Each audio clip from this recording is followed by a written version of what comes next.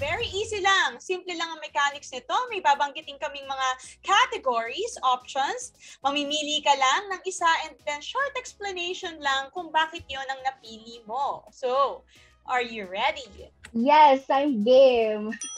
All right. So, number one, salad or chocolates? Um, chocolate. Chocolates. Bakit? Are you, do you have a sweet tooth? Um, actually, wala naman akong sweet tooth. Pero chocolates talaga yung kahinaan ko. Like, sa lahat ng sweets, chocolates lang yung gustong gusto ko talaga. And, syempre, I love chocolates talaga. So, salad, chocolates, chocolates. chocolates. Okay, next. Drip coffee or instant coffee? Siguro I'll go with instant coffee.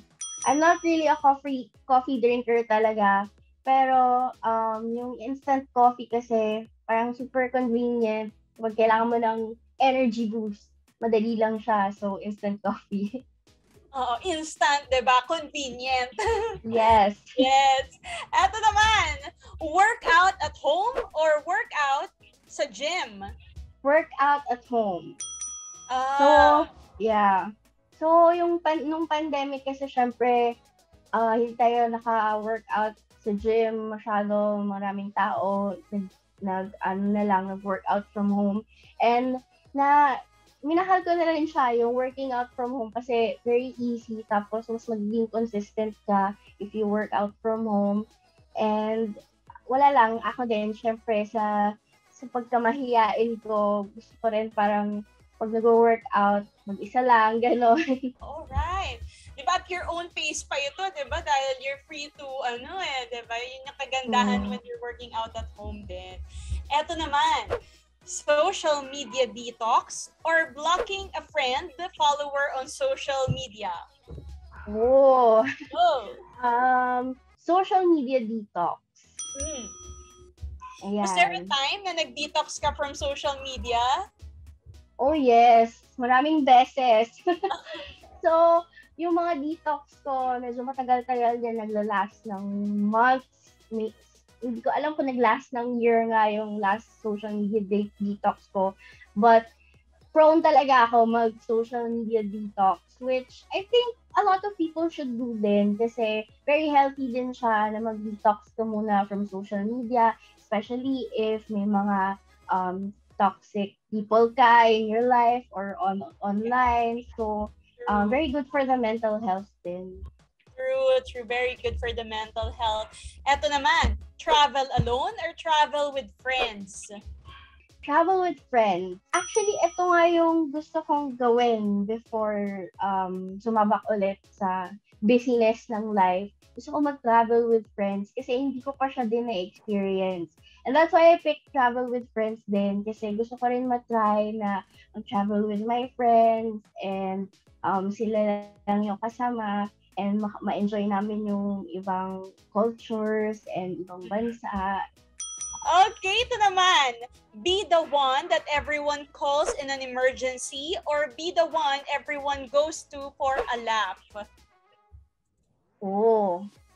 Um, I think be the one everyone goes to for a laugh. Kasi, I mean, syempre, gusto ko rin na matakbuhan nila ako during emergencies, ganon. But I love the feeling of being to, uh, being able to cheer someone up when they're feeling down. And ganun din naman yung ginagawa ko lagi with my friends. So, halimbawa, um, they come to me with a problem, ganon, or they're sad um, tinatry ko talaga silang patawanin and i-distract so that um, mawala yung mind nila sa problema nila, gano'n. That's so nice. Eto naman, have lots of kids or adopt lots of dogs? Parang alam mo na ata yung answer dito. adopt lots of dogs. Yes. Kasi 'di ba, talagang you're uh you're an animal lover, pet lover. Yes. Eliza, meron kaming mga rescue pets. Ah, uh, yes. Uh, meron kaming isang aspin and itong yung isa kong cat um um inadopt ko siya from a home na hindi na siya maalagaan. So, isang aspin namin, yung rescue namin dito lang sa labas ng bahay namin. And then, uh, inalagaan namin siya. And then, right now, she's doing very well na. Taba na siya. and malaki na rin siya. And then, si Tyler naman, yung cat na in-adopt ko rin, nilihome ko from another home, doing very well din. Wow naman. Nako, talagang you are very loving, di ba? Pagdating na sa mga pets, talagang the world needs a lot more people like you. Oh, thank you. Diba? Naman, be an artist or a writer? Be a writer. Oh, writer. Mm-hmm. Next, be rich or famous? Um, be rich. Be rich. Bakit be rich?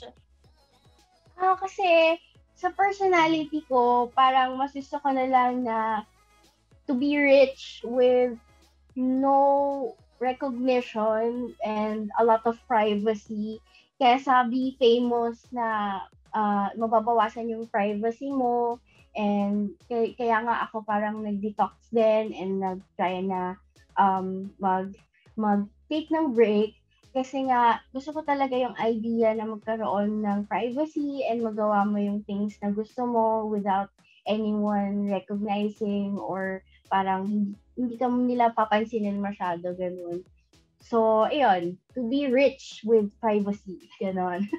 Yan, be rich with privacy, di ba? Okay, last na lang.